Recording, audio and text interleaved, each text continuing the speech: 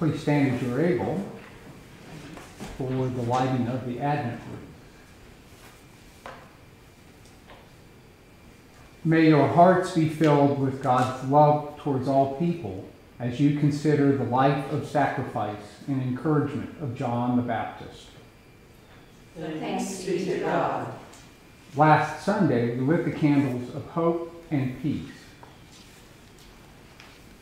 Today is the third Sunday of Advent, and we light the candle of love and remember John the Baptist. Matthew chapter 3. In those days, John the Baptist came, preaching in the desert of Judea, and saying, Repent, for the kingdom of heaven is near. This is he who was spoken of through the prophet Isaiah, a voice of one calling in the desert, Prepare the way of the Lord, make straight paths for him. Blessed are you, sovereign Lord, just and true. To you be praise and glory forever. Your prophet John the Baptist was witness to the truth as a burning and shining light. May we, your servants, rejoice in his light and so be led to witness to him who is the Lord of our coming kingdom, Jesus, our Savior and King of ages. Blessed be God forever. Amen. Amen. Let us pray together. Lord Jesus, light of the world, John told the people to prepare, for you were very near. As Christmas grows closer day by day, help us to be ready to welcome you now. Amen.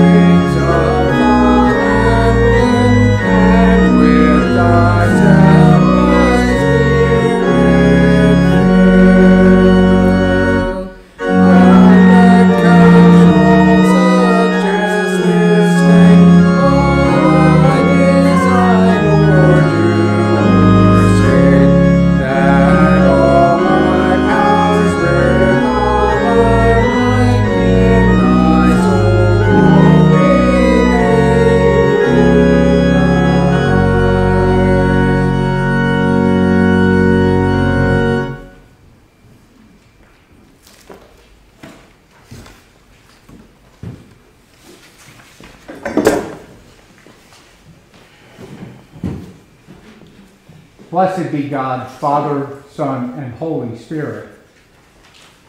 And blessed be God's kingdom, now and forever.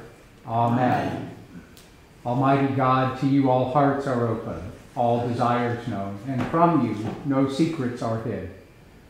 Cleanse the thoughts of our hearts by the inspiration of your Holy Spirit, that we may perfectly love you and worthily magnify your holy name. Through Christ our Lord. Amen. The Lord be with you. And also with you. Let us pray together the collect of the day. Stir up your power, O Lord, and with great might come among us. And because we are sorely hindered by our sins, let your bountiful grace and mercy speedily help and deliver us. Through Jesus Christ our Lord, to whom with you and the Holy Spirit be honor and glory, now and forever. Amen.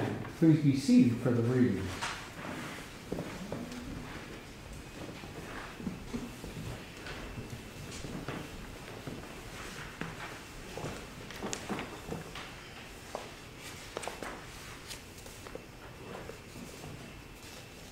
A reading from the book of Isaiah.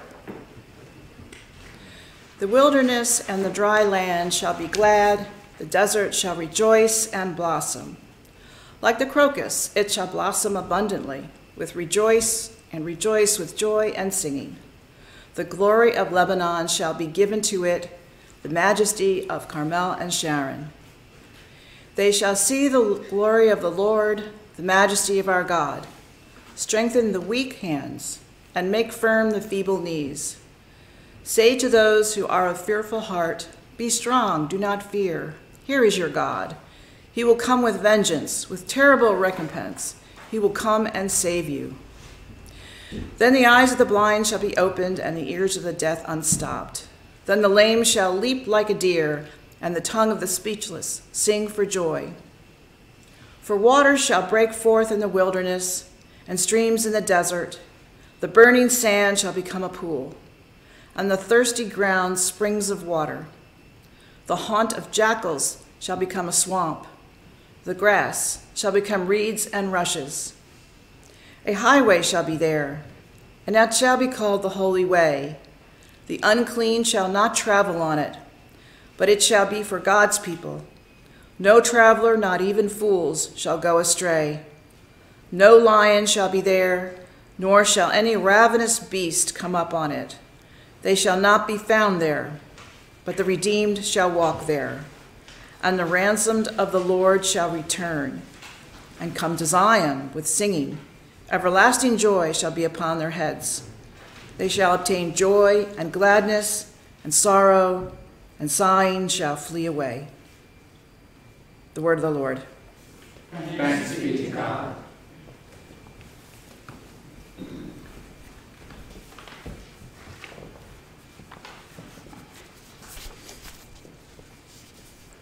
The psalm appointed this morning, Psalm 146, verses 4 through 9, is found in your order of worship. We will recite the psalm in unison. Happy are they who have the God of Jacob for their help, whose hope is in the Lord their God, who made heaven and earth, the seas and all that is in them, who keeps his promise forever who gives justice to those who are oppressed and food to those who hunger.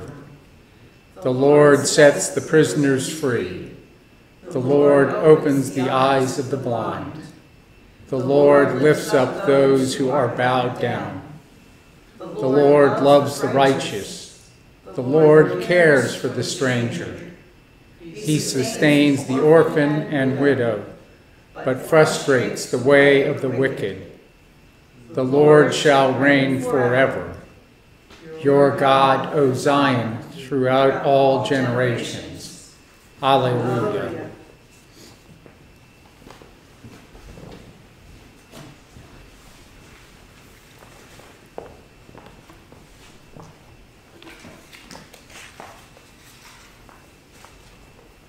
A reading from James' letter to the 12 tribes. Be patient, therefore, beloved, until the coming of the Lord.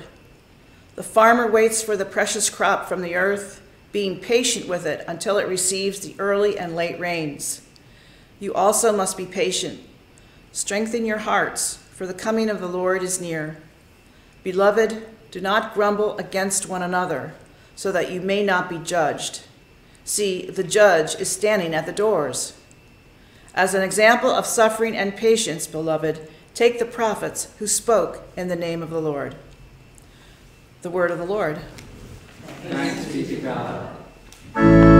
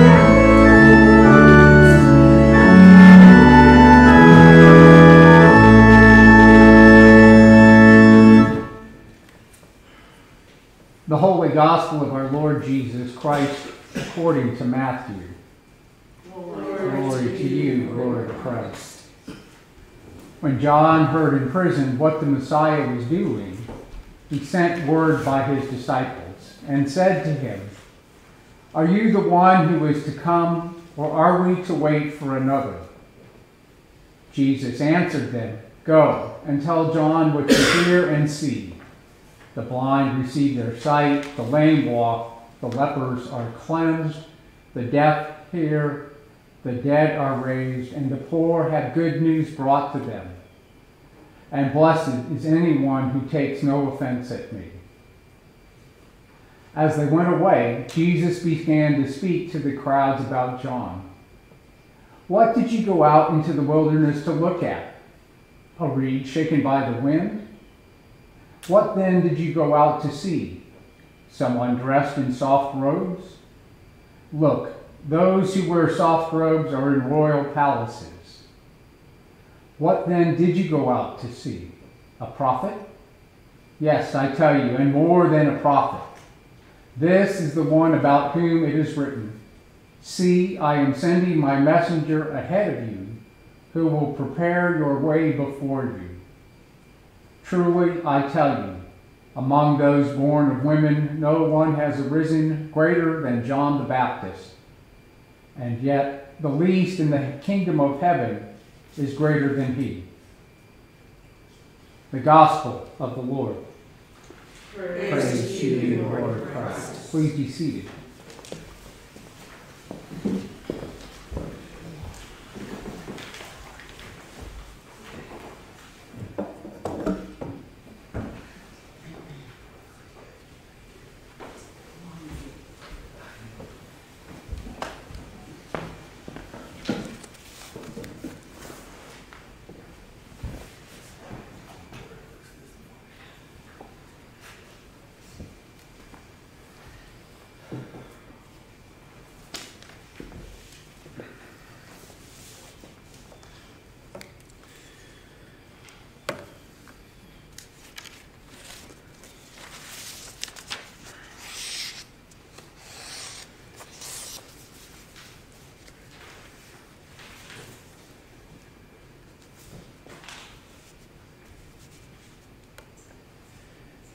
Planning.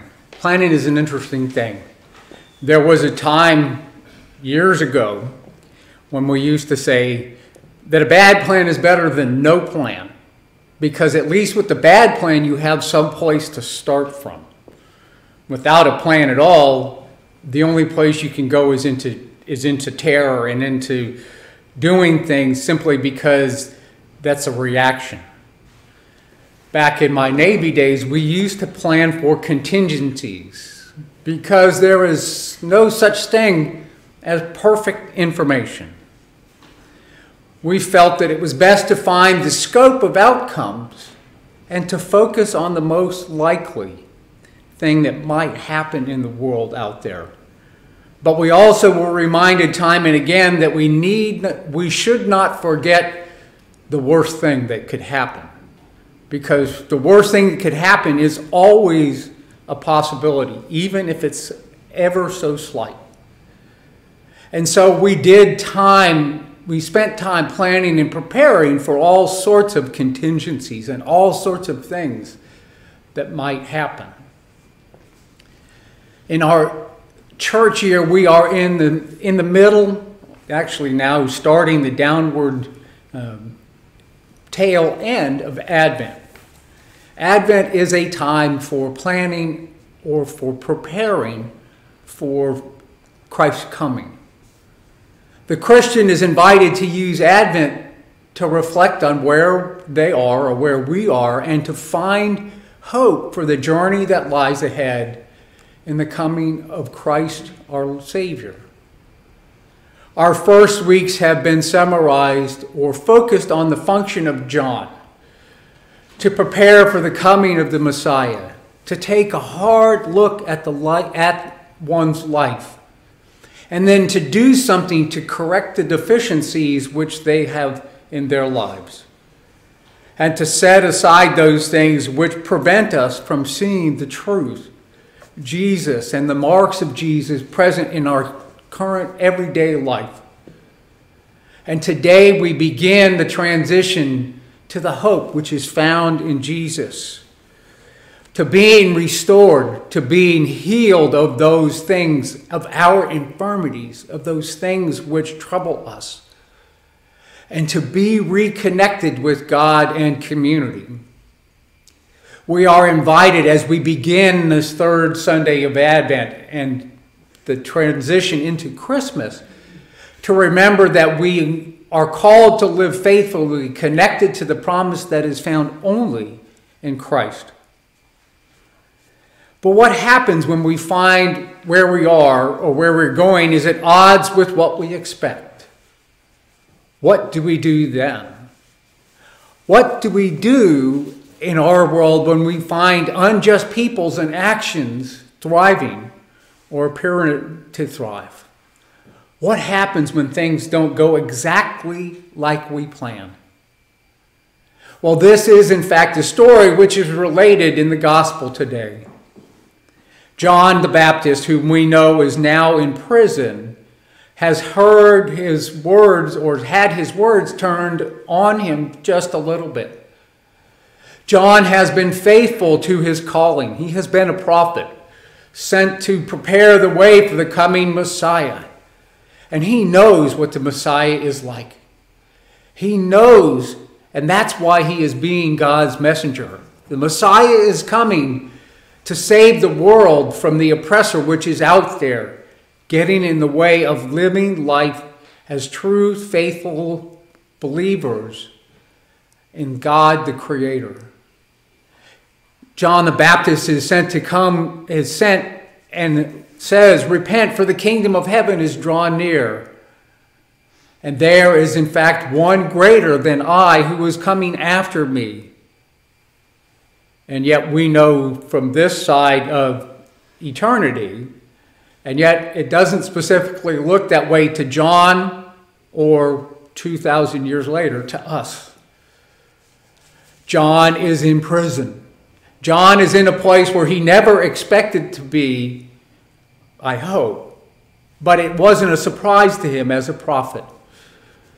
And being human, he had concerns about Jesus.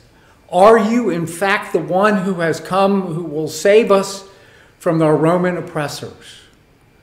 Are you the one who is the Messiah, or do we need to look for another?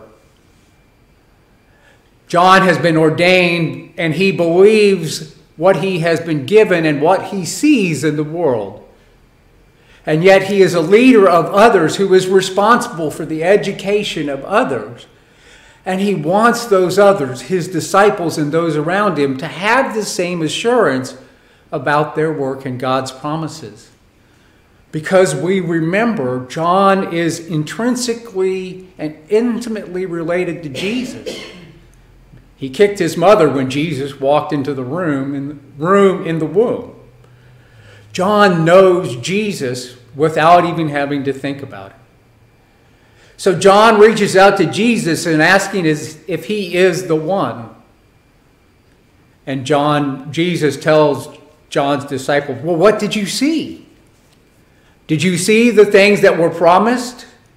Did you see people being healed and people being restored and good news preached to the to the people?" Trust what you know as the way that God is going to work in the world.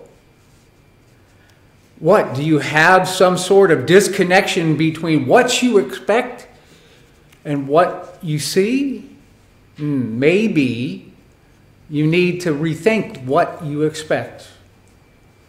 And so Jesus sends John's disciples away and they, of course, or I assume they tell them, well, yes, we in fact found the Messiah, that is Jesus.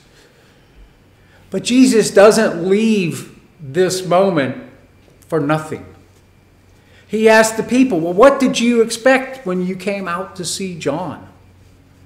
What did you expect when you came out here? What do you expect the Messiah to look like? And that is part of the question that we are asked still today what do we expect the Messiah, the one who has come to set the world free from the sins that it has, and bring us into that new place of hope? As we prepare for the future, we might be good to ask us, what do we expect the Messiah to look like? Or even better, what are we looking for? Advent is a time to consider how we get from where we are to God's desired end, to the restoration of all creation. We are reminded time and again that we are traveling a path which gives hope because we are not the first people to travel down this path. John the Baptist lived in a time where the Romans were oppressing the Jews and he was thrown in jail for doing nothing wrong except calling, calling power to account. We are invited as we continue our Advent journey to take account of what we find in society. We need to be reminded that God lived at the in intersection of his steadfast faith and a flawed society. John wondered, and I bet we do too, how society can continue to operate in an unjust manner. How can we, in fact, believe that God is around if the world continues to operate unjustly? And part of the reason that we know that the world operates the way it does is because there are, in fact, quite simplistically, some people who don't believe that God exists. They expect something different than was promised to them in the faith that they were given as children, if they were given faith as children. They, in fact, have given up hope because what they believe should happen is at odds with what God promised will happen at least in their minds. We can count on those promises, and that's where we come into the story. We have been told, just like John, we, there are miracles that happen in this world. And we can be like John if we remember that it is not unfaithful to ask for assistance and clarification to look for new information and new ways to find God's presence in the world, to trust that the miraculous things are at work around us. But what if those miracles don't happen the way that we expect them, or in ways that we don't recognize? Well, maybe it's because we are not in tune with where God is calling us to be, and that is part of the Advent journey. Our Advent journey is a time where we are given a chance to restore a hope that, Jesus, that God's promises are true. And we know that's the case because we are, in fact, still worshiping in a place where we make a difference in people's lives. People come to us, people ask us for assistance, people reach out to us in ways which we can only imagine. We are on in a journey where we are refreshed by God's story of grace and community. A place where questions are welcome and certainty is found in God's gifts to those who persevere. Our Advent journey is the time to ask ourselves, what are we looking for? And so I ask you this morning, what are we looking for? I believe that we are looking for something to count on for eternity, although eternity for us is hard to comprehend. I believe that we are looking for security in those things that are not of this world, because we know that the earthly things will pass away or change. I believe that we are looking for our place in the story which has been prepared for us by God. We are looking for a meaningful relationship with God in community and a way that we can share, share it with others so that others can have that same meaning in this demanding and demeaning society and a society that rewards those who believe it's me first. John proclaimed Jesus as Messiah, and we continue to this day to proclaim Jesus as Messiah. Not one who will come and rule with an iron fist, but one who will invite people to be themselves, to ask questions, to plan, to make mistakes, and to continue moving forward because God calls us to move forward today and forever. Amen.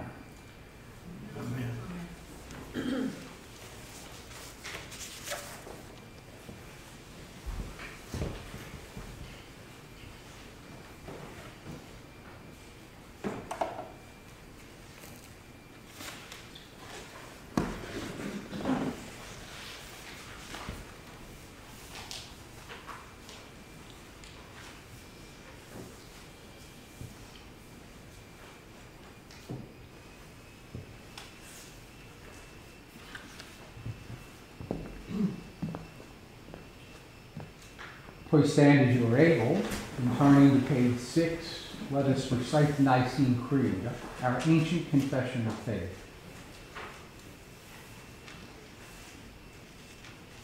We believe in one God, the Father, the Almighty, maker of heaven and earth, of all that is seen and unseen. We believe in one Lord Jesus Christ, the only Son of God eternally begotten of the Father, God from God, light from light, true God from true God, begotten, not made, of one being with the Father. Through him all things were made. For us and for our salvation, he came down from heaven. By the power of the Holy Spirit, he became incarnate from the Virgin Mary and was made man. For our sake he was crucified under Pontius Pilate. He suffered death and was buried. On the third day he rose again, in accordance with the Scriptures. He ascended into heaven and is seated at the right hand of the Father. He will come again in glory to judge the living and the dead and his kingdom will have no end. We believe in the Holy Spirit, the Lord, the giver of life, who proceeds from the Father and the Son. With the Father and the Son he is worshipped and glorified. He has spoken through the prophets. We believe in one holy Catholic and Apostolic Church. We acknowledge one baptism for the forgiveness of sins. We look for the resurrection of the dead and the light of the world to come. Amen.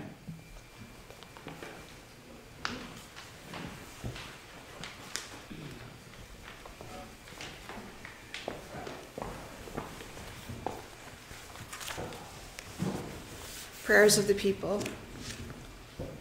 Jesus said that signs of God's dominion were to be seen in the healing of the sick, the raising of the dead to new life, and the preaching of good news to the poor.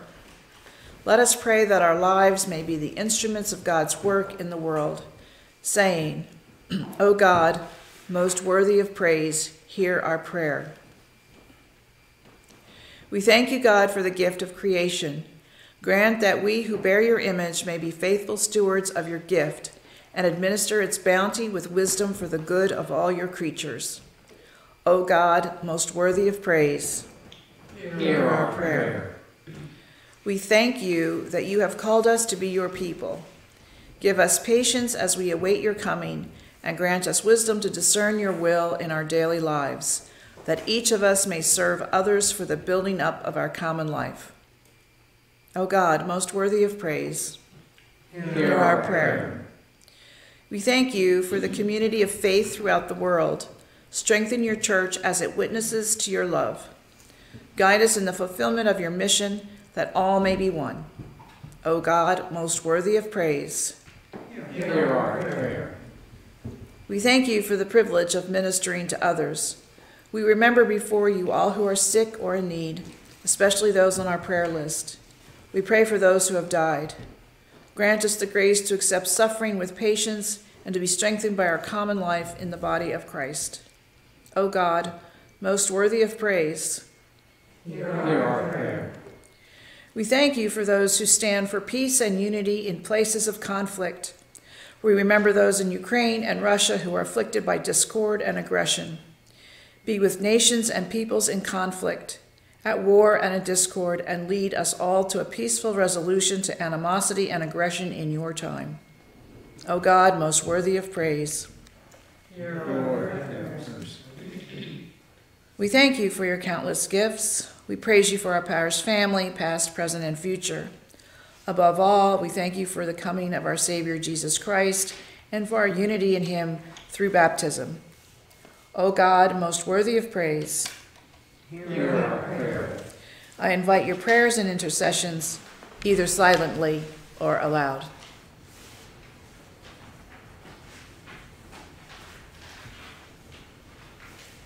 We offer our thanksgiving and prayers to you, the one God and the source of light and life, now and forever. Amen.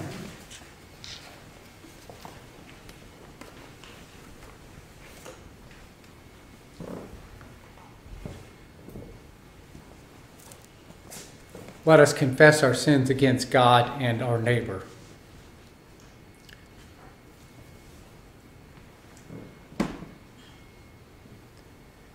Most merciful God, we confess that we have sinned against you in thought, word, and deed, by what we have done and by what we have left undone.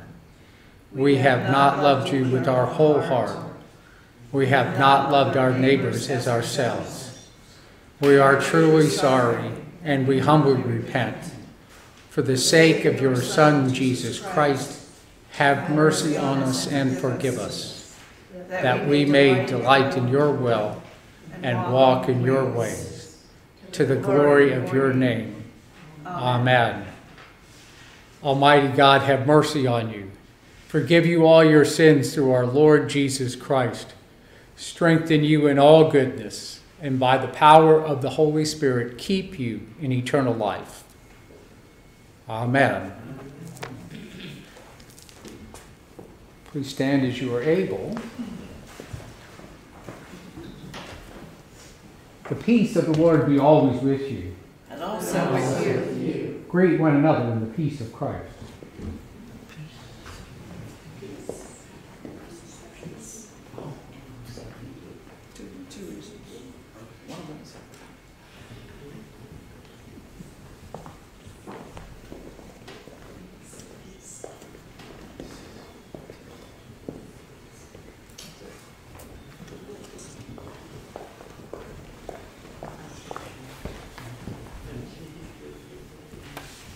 Ascribe to the Lord the honor due his name, bring offerings and come into his courts.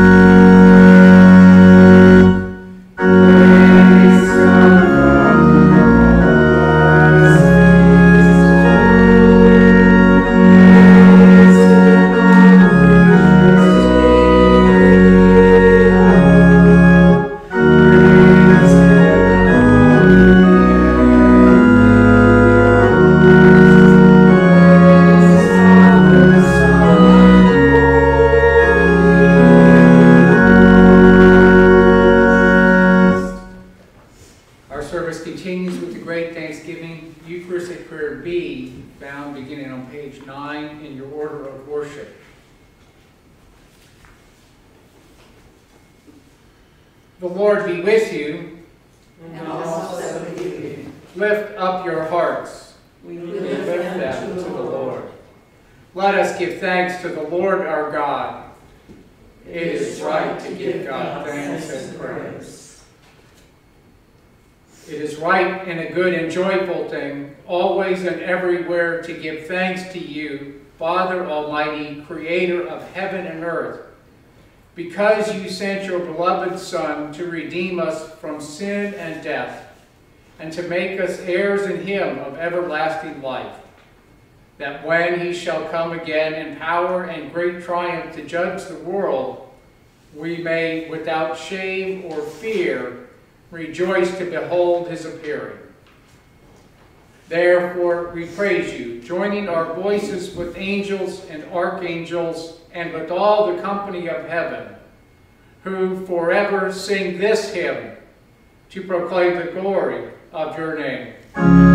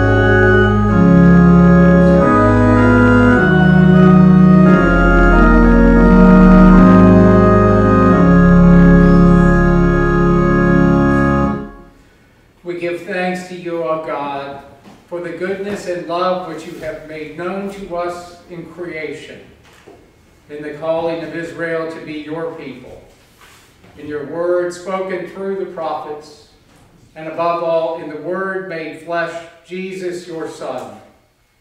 For in these last days you sent him to be incarnate from the Virgin Mary, to be the Savior and Redeemer of the world. In him you have delivered us from evil and made us worthy to stand before you. In him you have brought us out of error into truth, out of sin into righteousness, out of death into life. On the night before he died for us, our Lord Jesus Christ took bread, and when he had given thanks to you, he broke it and gave it to his disciples and said, Take, eat. This is my body which is given for you. Do this for the remembrance of me.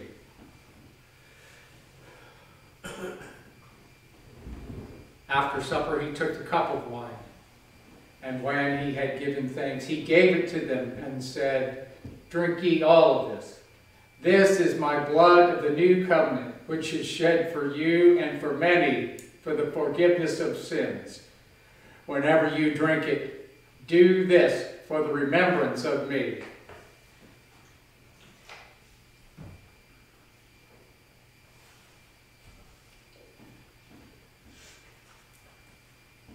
Therefore, according to his command, O Father, we remember his death, we proclaim his resurrection, we await his coming in glory, and we offer our sacrifice of praise and thanksgiving to you, O Lord of all, presenting to you from your creation this bread and this wine. We pray you, gracious God, to send your Holy Spirit upon these gifts that they may be the sacrament of the body of Christ and his blood of the new covenant. Unite us to your Son and his sacrifice, that we may be acceptable through him, being sanctified by the Holy Spirit. In the fullness of time, put all things in subjection under your Christ, and bring us to that heavenly country where with St. John and all your saints, we may enter the everlasting heritage of your sons and daughters. Through Jesus Christ our Lord, the firstborn of all creation, the head of the church, and the author of our salvation. By him and with him and in him, in the unity of the Holy Spirit, all honor and glory is yours, Almighty Father, now and forever. Amen. And now, as our Savior Christ has taught us, we are bold to say, Our Father, who art in heaven, hallowed be thy name. Thy kingdom come, thy will be done, on earth as it is in heaven. Give us this day our daily bread, and forgive us our trespasses, as we forgive those who trespass against us. And lead us not into temptation, but deliver us from evil. For thine is the kingdom, and the power, and the glory, forever and ever. Amen.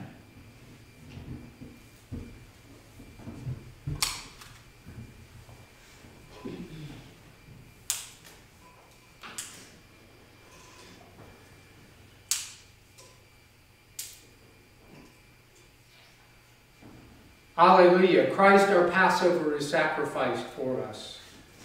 Therefore let us keep the feast. Alleluia. The gifts of God for the people of God. Take them in remembrance that Christ died for you and feed on him in your hearts by faith with thanksgiving.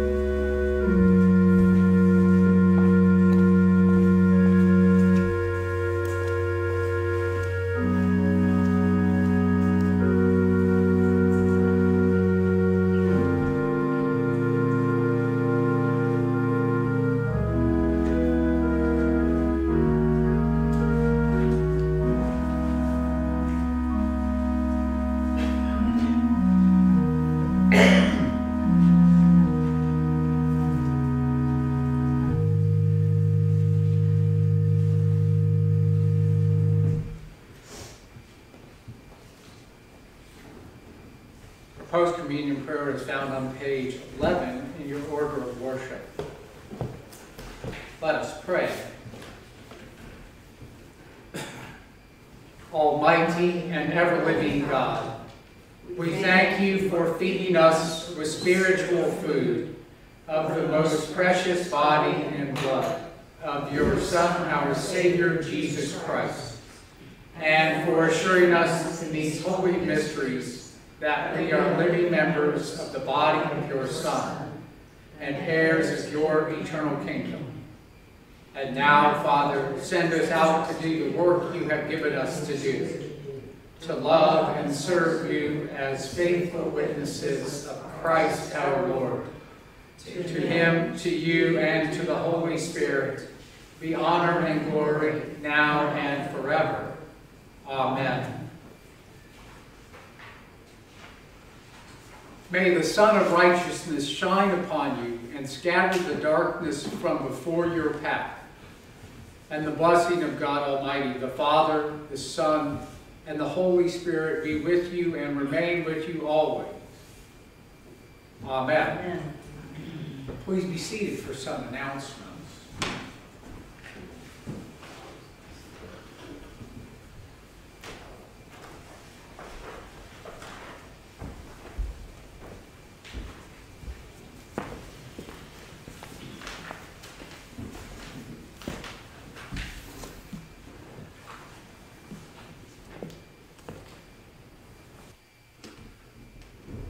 Our closing hymn is hymn number 54.